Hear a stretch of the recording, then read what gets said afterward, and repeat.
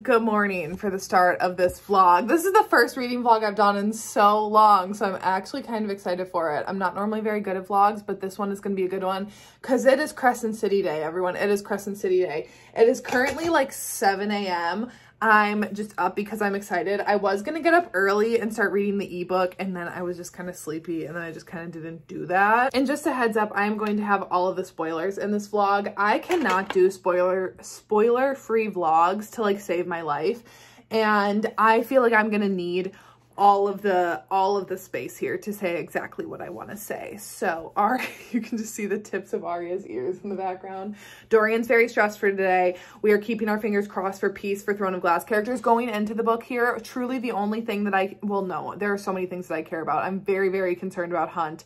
That him getting the slave tattoo back on him was so heartbreaking and so horrible to read at the end of Crescent City 2. I'm very nervous for him and Ruhn together in the dungeons. I'm very, I'm excited for Bryce because she's out in Velaris. Have fun. Yay. But here's the thing. If she is going to bring Throne of Glass people into the mix, they need all of the peace in the world. I swear to God, if something happens to any single one of the Throne of Glass characters, except like maybe Aedion, he's kind of still on my shit list for like years. Cut it, cut the tape. So very nervous for that. Dorian, right? We're manifesting good things for Dorian.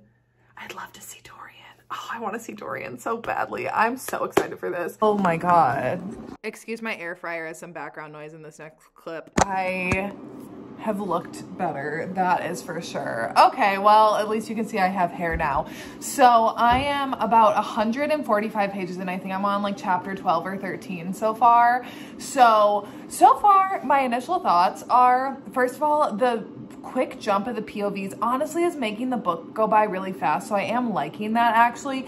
Ethan and Tharion's like POVs are still my least favorite just because like I'm not as invested in them and like where they're at in the story as I am with like Hunt and Ruhn and Baxian in the dungeons, the Hind there too, or Bryce obviously with the ACOTAR crew. So like I just don't care as much, but I actually am really intrigued by Tharion with his deal with the Viper Queen. So I like that. And I think obviously the stuff with like the wolves is cool, but I just genuinely don't really care about the wolves to be honest. So like I don't really care about them as much. Like I think it's moving quickly. One other thing I was just actually texting with Sam about this from Sam Reads a Little and I was like, the torture is not as bad as I was anticipating, at least for right now. I mean, granted, I could be eating my words here later on, but so far, I feel like the torture for Hunt and Ruhn and Baxian at least has not been as graphic on page. Like it was obviously talked about that Baxian and Hunt had their wings both cut off again, which like brutal. But like when Hunt got that slave tattoo back on his forehead at the end of Crescent City 3, or Crescent City 2, genuinely like my gut like churned reading that. Like there was something so like sickening about that We're like yeah obviously we're hearing about these things that have happened to them or like their tongues getting cut out but we haven't really like actually been in their heads when any of this torture has been going on. You know it's all like in the aftermath when they're just kind of dangling there which is still hard to read. Like obviously don't want to read these characters going through that. But also in I you know what fuck it I'm gonna say something about Throne of Glass here um, about Kingdom of Ash. So if you haven't read Kingdom of Ash, skip ahead like 20 seconds because there is a part in that book that again, when Aelin was forced to kneel on shards of glass in front of Maeve, that it's like that genuinely, like I felt that like rip through me. And I haven't felt that yet with the torture, which I'm kind of scared for because I'm like, either it's not going to be as graphic or we're in for it. All that to say is at least right now, I feel like, you know, they're not in a great place, but at least they have each other and banding together Okay, now kind of the most important thing with Bryce off with ACOTAR. So honestly, I get Bryce's reservation because she doesn't know anything about them, even though we know that she can trust them, like she doesn't actually know that she can trust them. So I totally get that. I get her hesitance. However, I was very bored for a while when she was just wandering around in these tunnels. I was like, can we please do somewhere? And then Nesta, of all people, joined her, which like, don't get me wrong, I do love Nesta. But I was like, can we get back with some of like my other favorites? and then it's just her, the two of them like wandering through this tunnel for so long and I was starting to be like, can we like get a move on with this. However, Azriel just showed up. So that's kind of fun. But again, I'm kind of like, can we get out of these tunnels, please?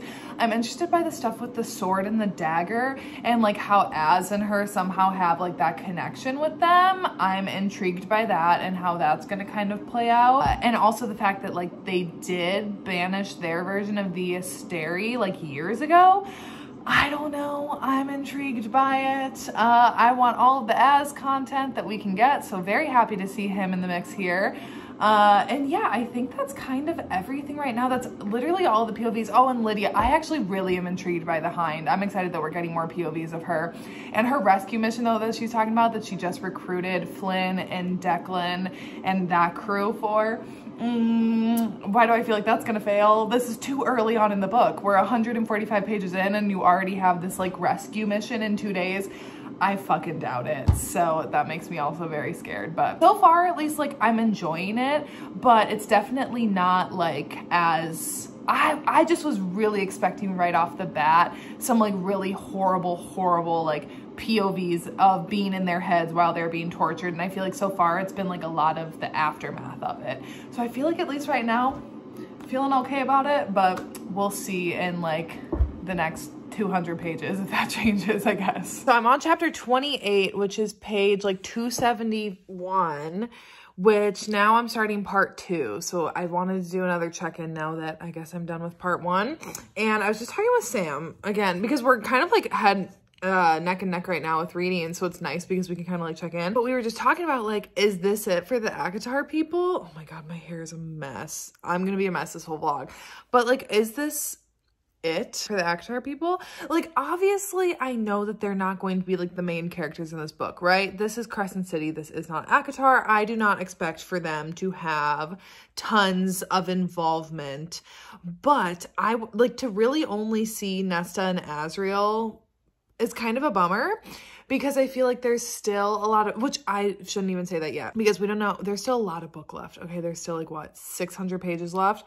But to like not know about Amren yet because I feel like Amren probably plays into things. The fact that like Rhys's descendants, like again, like all this history that we just got laid on us is from like Rhys's ancestors. So it's like again, I want like I want to know that reaction. It's more like I just feel like there's so much involvement in history between these two planets that it's like I want to know then how some of the ACOTAR people fit into it. Anyway, so Bryce just basically like dipped out with Nesta and Azriel. Here's the thing. It's been hard not to get frustrated with Bryce because, right, she doesn't know them like we know them. She doesn't know that she can trust them, that they're good people, okay? So all of her decisions are very logical to me of her, like, kind of working against them a little bit or, like, trying to trick them or trying to defy them a little bit. It all makes sense, okay? Logically, I understand it makes sense. And I'm trying not to be like Bryce what are you doing here? Come on, they're like good people. Because she doesn't know that, okay? And she has no reason to believe that they like don't mean her or her world harm. And also the same way around, like Nesta and Azriel have no reason, like again, we know that Bryce is a good person, but it's like they have no reason to believe that. And especially knowing like what kind of horrors lie in her world, they don't want that invading theirs. So it's like, I get it. I get it. But I am kind of like, can we all just get together and have some fun? I just want to see Az and Cassian with some machine guns and like seeing them take photos on a phone. Nesta or Bryce trying to explain to them how a phone works. Like that's the shit that I want. Like I just, I like that stuff. And I just liked that moment. And then like trying to picture all of them like sitting around a table with the phone sitting in between them, all trying to be like, how the fuck does this work?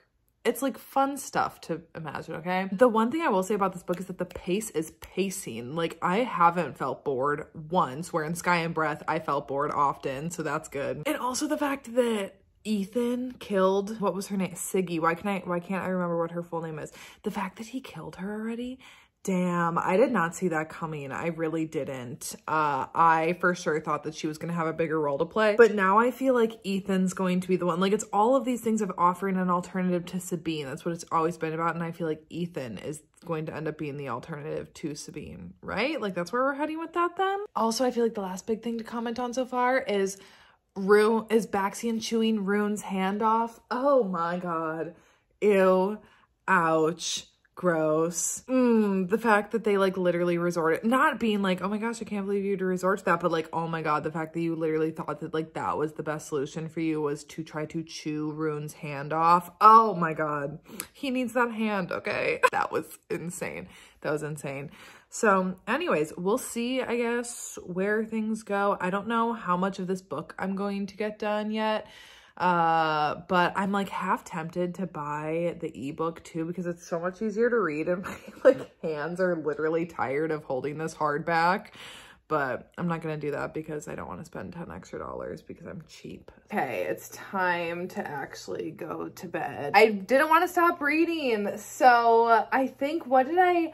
I'm on chapter, I think 45 or 46, and my goal was to get to chapter 50 today which I don't know if I'm going to make it to tonight, honestly, because I, I don't want to like just I obviously want to read because I want to find out, so I want to keep going, but I also don't want to like burn myself out on it. So I don't know. We will see, but I basically though I am getting ready for bed though, but I wanted to fill in my thoughts then of everything that I've read so far. Also, oh my god, my hair. I cannot stand my hair today. You know how some days, there are just some days where I just like hate hair. At least then it's off of my like neck. I can't even like stand the feel of it right now.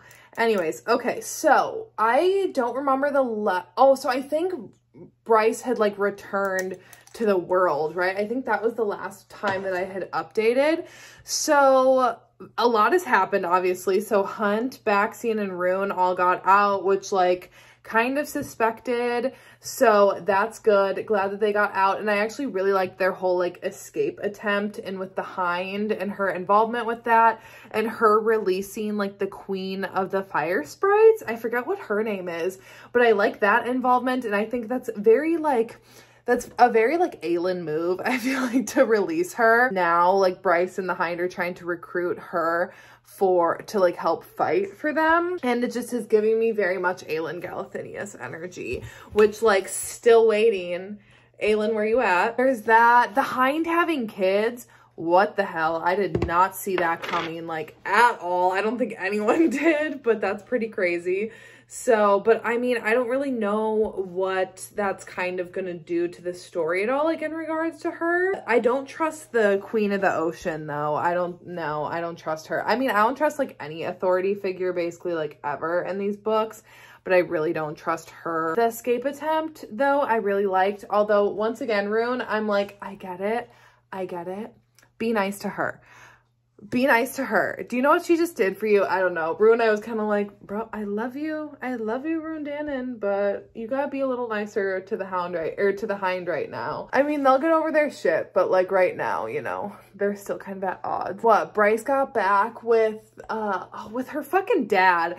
Her, he, garbage. This man just sucks. I just want him, I can't wait for him to die quite frankly, because like he's got to die, right? There's no way that this man is making it out of this series alive. So I'm kind of like, can we kill him sooner rather than later? Because I would love to see, I would love honestly for Ruhn to be able to be the one to kill him. So I'm hoping that that's why he hasn't died yet and why Bryce didn't kill him yet.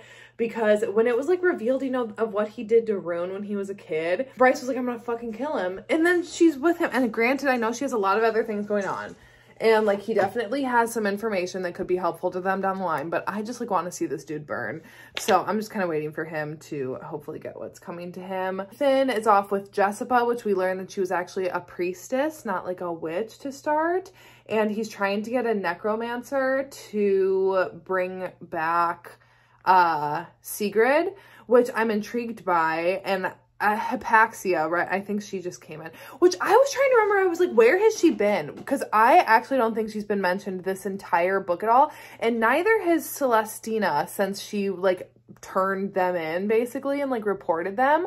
So I'm kind of like Hypaxia. I feel like we can trust her. Celestina, mm, I don't know. I don't know about that. She's going to have some major explaining to do if we're actually supposed to trust her. And then, okay. And then I think the last thing was Bryce now meeting back up with the crew on the ship. I was kind of let down by that a little bit. Was anyone else? I'm going to be curious. Uh, I like her and Hunt are reunited. And I get it that like for the shock value of her like entering in this meeting all of a sudden with the ocean queen or whatever, that her and Hunt can't just like run to each other and like embrace whatever. I understand that in that moment. But then afterwards, they don't, eh, I didn't really like feel anything at them reuniting. I thought that I would and I didn't. And it wasn't like this super like impactful, like emotional moment between them. And I was kind of bummed by that. Like I just wanted them to like hold each other and they just didn't. I don't know. Granted, so then at the end of the like last part that I was reading about them, like they were like maybe thinking about hooking up and then they're like, can we just hold each other? And I'm like, yeah. But like, I don't feel like there's no like, oh my gosh, like this is like my mate. Like I'm thinking back to, once again, I'm going to spoil some stuff for some other Sarah J Maas books. So if you haven't read um ACOTAR and Throne of Glass, then like skip ahead a minute or like probably just like a minute. But I'm thinking like Kingdom of Ash, when Rowan and Aelin found each other again, are you fucking kidding? That reunion of the two of them after she escaped was like gut wrenching. Like I, I felt every single emotion of the two of them reuniting. And same then in ACOTAR and like Mist and Fury, like, or uh, in Wings and Ruin when Rhys and Feyre finally like reunited again. I felt that. I didn't feel like anything. It was almost like Sarah was like, we have other things going on. Let's like skip the reunion. And I'm like, no, I want the reunion. I care about that. So I don't know. I will, I will say I was a little bummed by that because I just wanted them to really just be like, oh, like you're safe. And also we really didn't get much of a reaction to Bryce seeing that Hunt has his slave tattoo back, except for like a glance at it. And he could like see that she was like sad about. And then in her mind, she was like, oh yeah, I'm going to kill the Asteri, but I'm going to kill them even more for that. But I'm like, I want that like primal rage from her over that. I don't know. I just kind of felt like their reunion was a little bit anticlimactic. And granted, maybe it's because it was only like, what, a week or two that they were apart, but I don't know. And also when she was wandering around the Autumn King's house while they were still held captive, I was like, Bryce, I get it. You're also kind of captive right here, right now, but like, come on. Don't, uh, I don't care about you wandering through Ruhn's bedroom. You have places to be and things to be doing, okay? I'm still really enjoying it. Like the pace is really good. The POVs are like short and they jump around a lot. So it's nice because it keeps the story moving. Uh, so I'm, I'm on it. I'm really enjoying it a lot. Uh, it's just like, I don't, I haven't felt like that emotional tug in moments that I thought I was going to be feeling it. Like the only time that I remember being like, kind of like, like at the edge of my seat and like feeling that like heightened emotion was during the escape and like with Ruhn. And oh, and, and when Hunt and Ruhn, when Hunt was like, had to choose one of them and like in his heart, he like knew they were to kill Ruhn and like just the idea of him it, when he was in his head talking about how it's like worse this time around because he actually has to like watch people that he cares about be ripped apart in front of him. Like i just feel like there's not enough focus on all of the trauma that hunt has gone through previously and then that's now kind of carrying over to this. And i feel like kind of kind of similarly how a lot of rhys's trauma gets like kind of was granted because we're all in Feyre's head in that but like that kind of got like pushed to the side a little bit for other plot lines and things in those books. And i don't know i just kind of i feel like that gets forgotten a lot and like hunts has kind of gotten lost in the shuffle a little bit until we had that moment to kind of like remind us of what he's already been through. Dorian is just still waiting for him to come into the mix. Anyways, I, okay, bye. Anyways, I got to part three, so I wanted to do a check-in. I don't know what page that is then. I'm so happy that Ruhn got to kill the Autumn King. I am really pumped about that. I was hoping that he would. I honestly thought that Bryce might, but I was hoping that it would be like Ruhn to actually be able to be the one to do it because even though the Autumn King was obviously horrible to Bryce, I feel like that kill was kind of Ruhn's to do. So very happy that he had his moment. And I'm also liking that him and Lidia are getting back on the same page. Like they're mates, right? I feel like that's coming. But I very much like them and like their scenes and dynamics together. Although when they were like, oh, Flynn and Deck didn't show up, like, hmm, that's weird. I'm like, guys, can we, can we go can we go look into that? I don't think they're just like not showing up, you know? And obviously they weren't. Oh, did I talk about Sigrid being now like uh uh a demon or something? That wasn't gonna end well. And also, once again, it only reiterates to me that I think that Ethan is going to end up being the alternative to Sabine. Like, I don't think that it is this Fendyr heir that is now half dead, half demon, whatever, roaming around.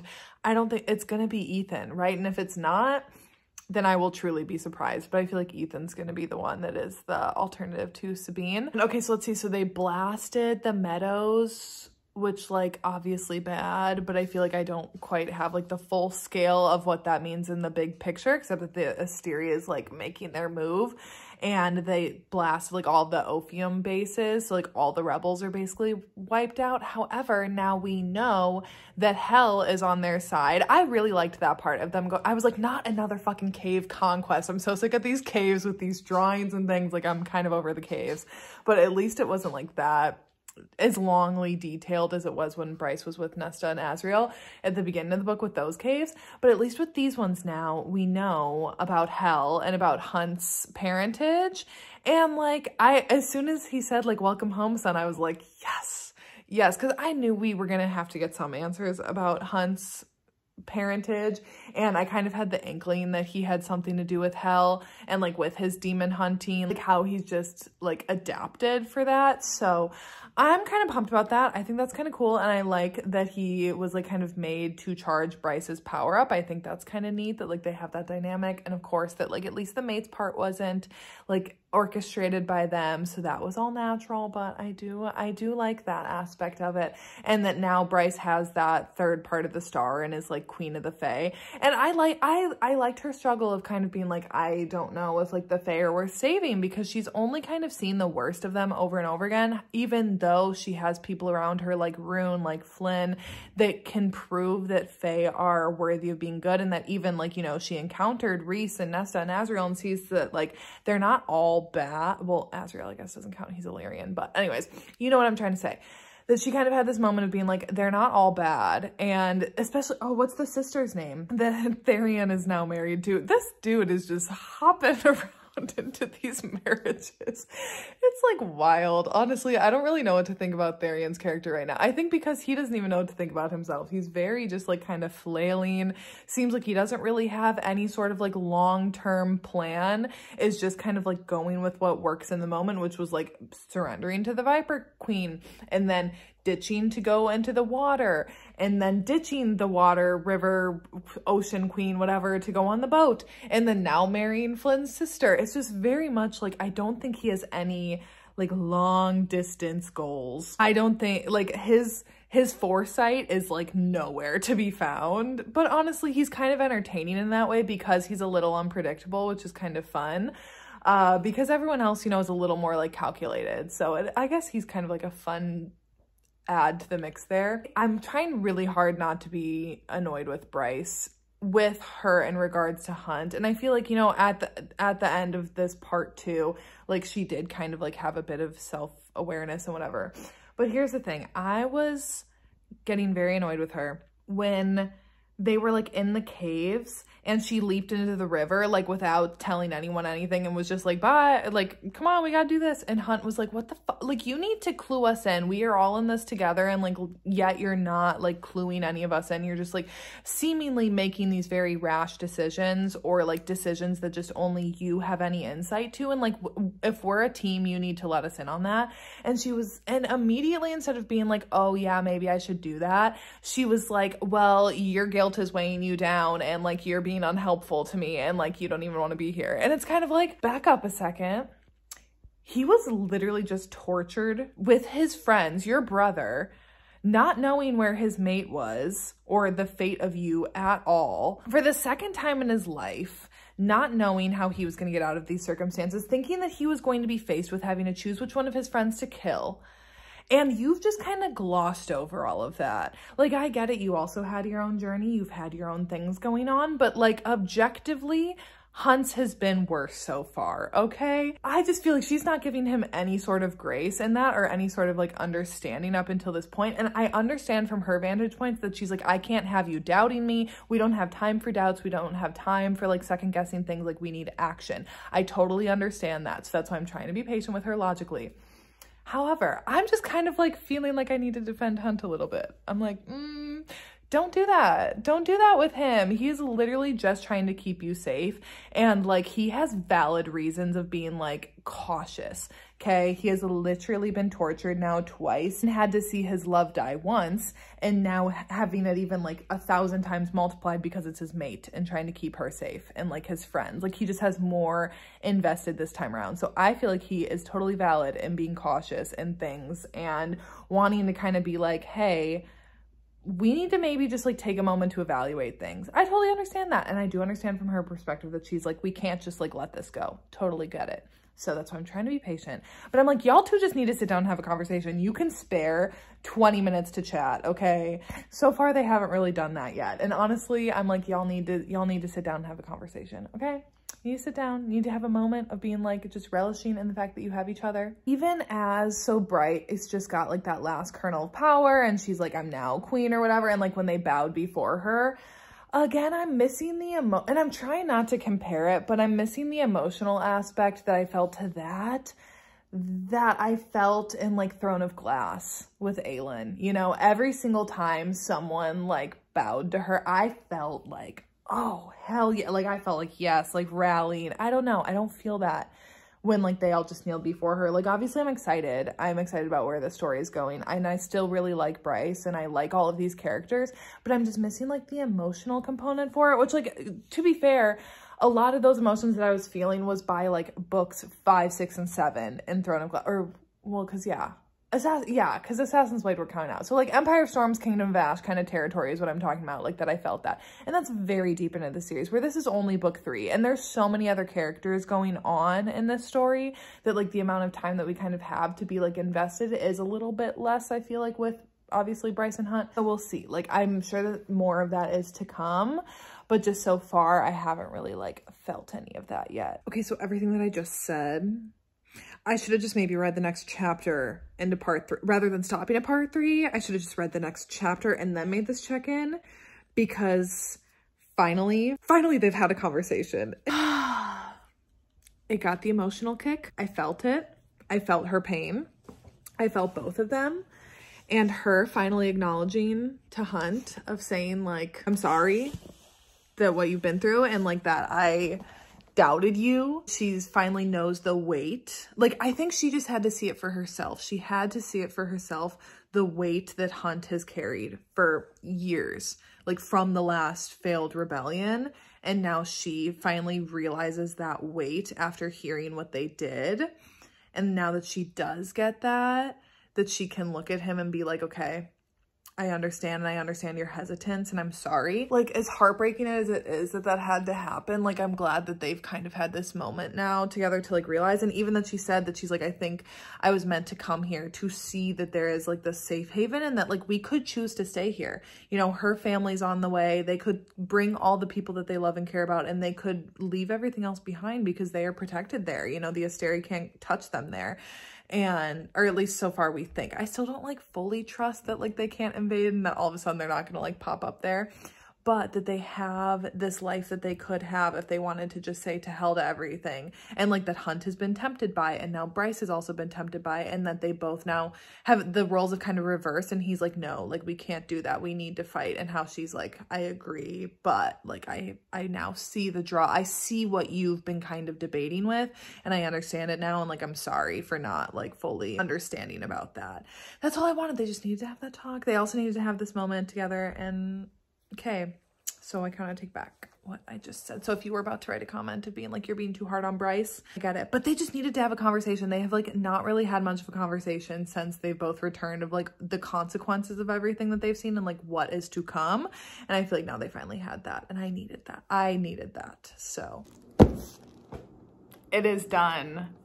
It is done. I've actually been done for probably like close to an hour now, but I'm just now getting around to filming my update because Sam and I hopped on like a stream so that way like we could uh, read together like a StreamYard link, but it wasn't like live or anything. So it was just the two of us. That way we could read the last like 150 50-ish pages together because we were both pretty much neck and neck the entire time that we were reading. So then she hit a certain spot and she was like, I'm gonna stop and I'm gonna run some errands and let me know when you get to that and then we'll get on. And we read the last part together, which was really fun to do it that way because like I didn't have that last time when I read Sky and Breath and we were both very anxious heading into the last bit of the book. So genuinely, I don't know where my last check-in was with this. I guess for right now, the thing that I'm just trying to like wrap my brain around is how this ended and like how that didn't go the route that I thought it was going to go.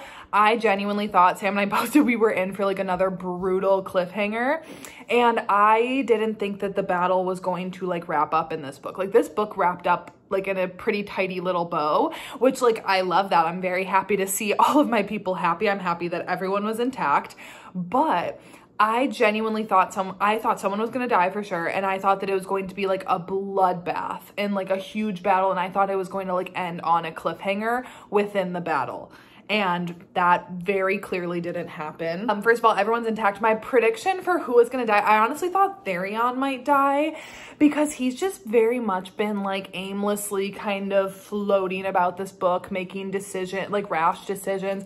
And I thought that maybe he was going to like sacrifice himself and find purpose in that uh, and like maybe and die, but he didn't. Uh, I mean, not that I'm like mad about that. He's fine enough. Like I'm, I, I like, I'm kind of neutral on Tharion, honestly. Um, but like Ithan, I love that he became prime. I, I thought that he was going to end up being like the heir. I didn't know that he was going to be the prime in this book, but I actually really liked how that all went down.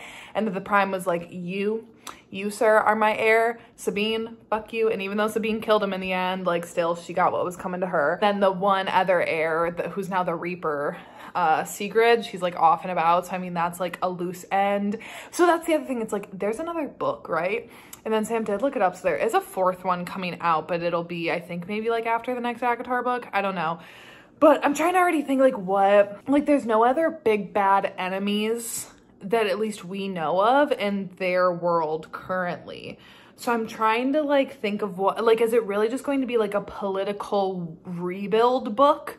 I don't know. I mean, we have like Ari the dragon who like we don't have a lot of answers on her. So like maybe her, Tharion and uh Sathia, who's Flynn's sister. Uh, we have like that though, and then like her ordeal trying to get her ex-boyfriend back from the Viper Queen. And the Viper Queen is another one that could explore more. The wolves, like I think Ithan and Perry, like I think Perry is gonna have a, could have a bigger role.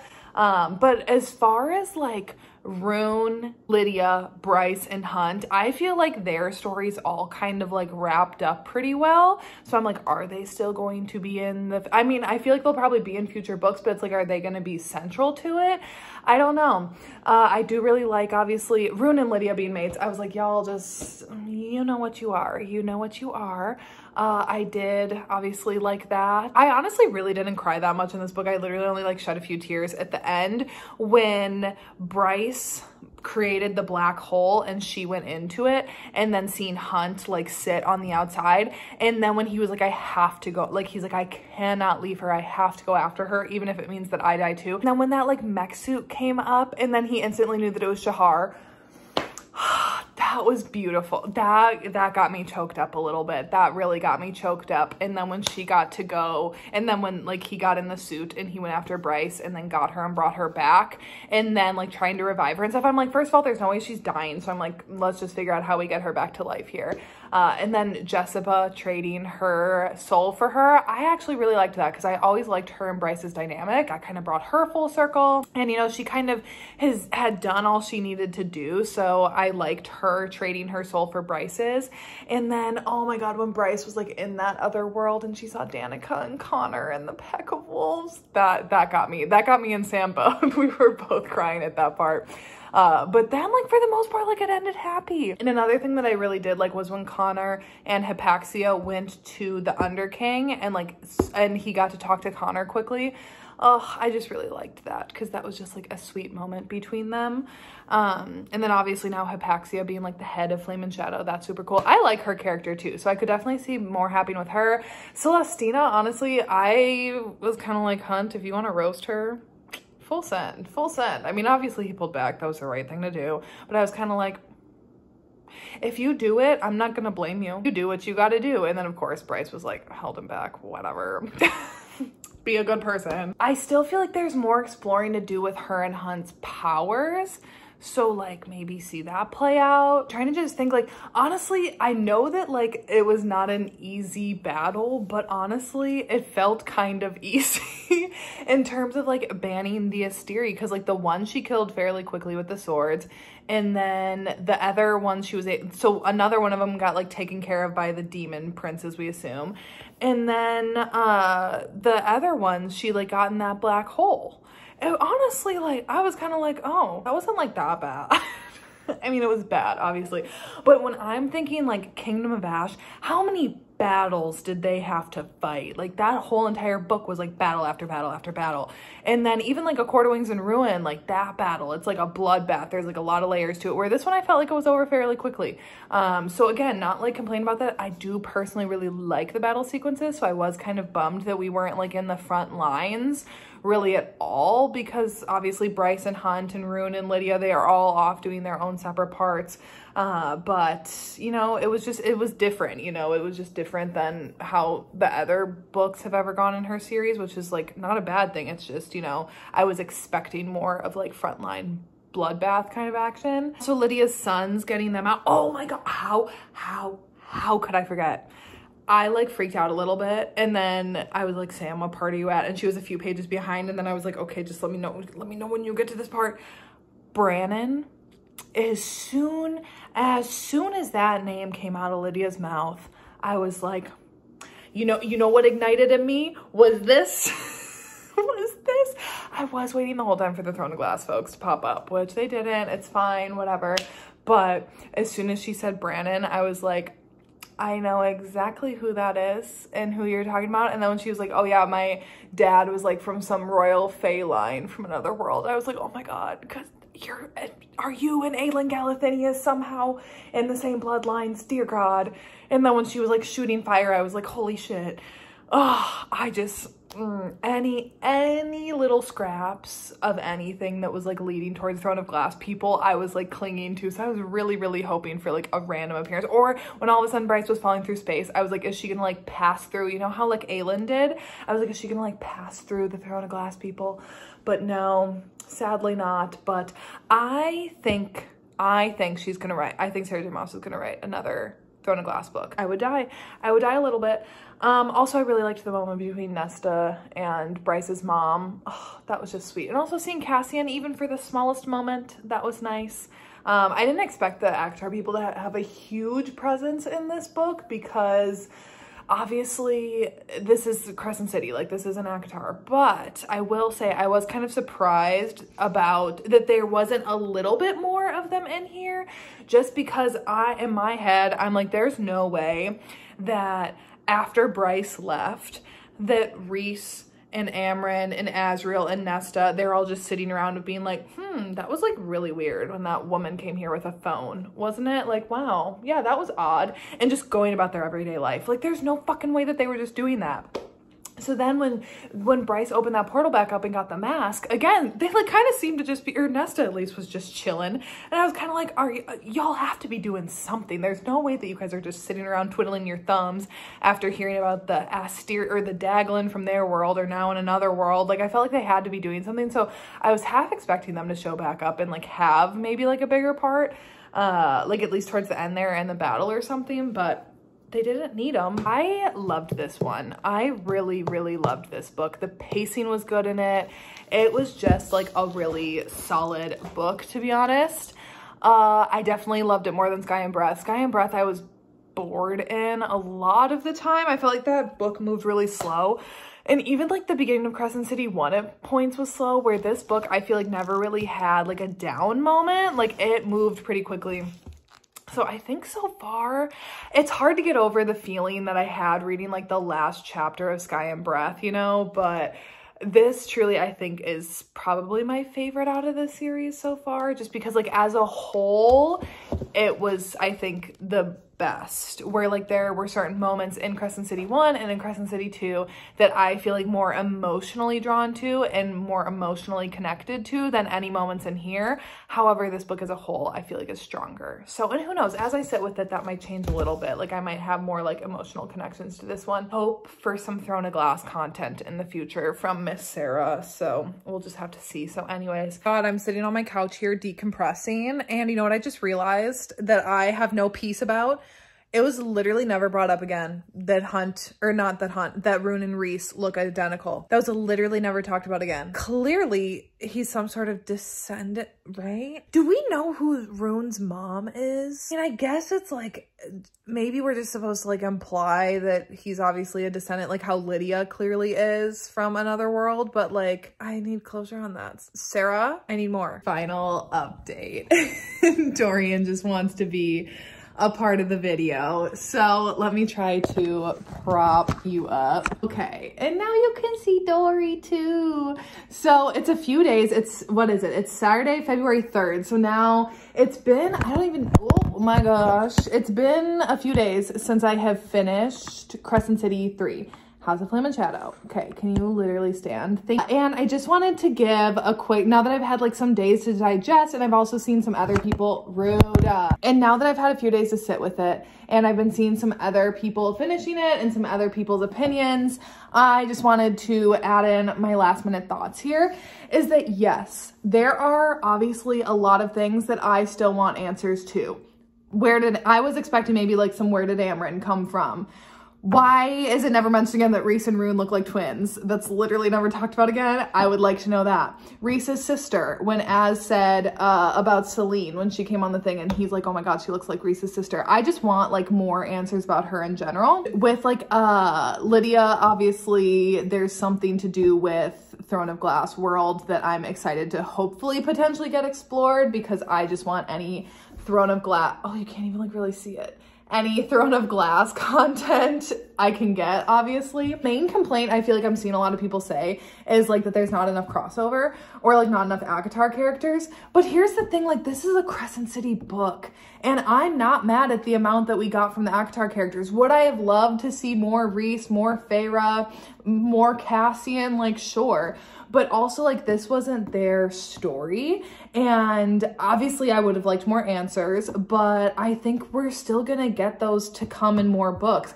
And I think if she ever wanted to do like a big crossover book that is like Throne of Glass, ACOTAR, and Crescent City all in like equal parts, you know, she could just write that separately, like a combination book.